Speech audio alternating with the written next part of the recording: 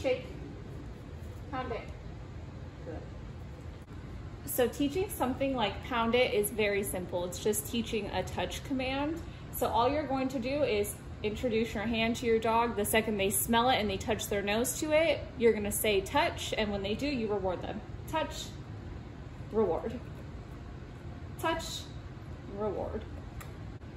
If you feel like your dog's having a hard time just touching your hand, put some treats in your hand first, get it to smell like the treats, and then try introducing your hands. Touch, yes.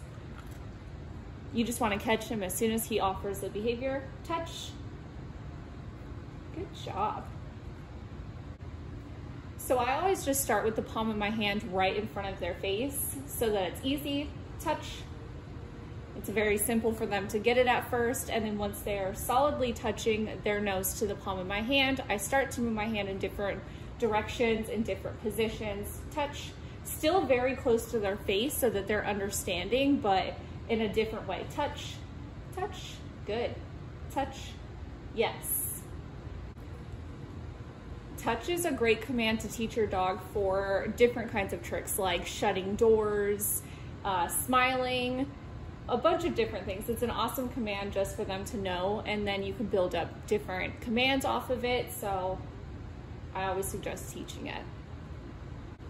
Once Salem was getting to the point where he was touching my hand solidly every time I asked touch, I started to close my fist and have him touch it.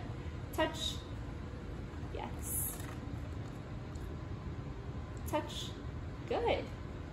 So it really is just a lot of practicing with holding your hand in different ways. Touch, touch, touch, touch. Good job. So once Salem was solidly touching his nose to my fist when I put it up to him, touch, I switched the command to pound it just so we can have a cute handshake, but you don't have to switch the command if you don't want to. Pound it, yes. And then before you know it, you can have a cute handshake with your dog. Good job.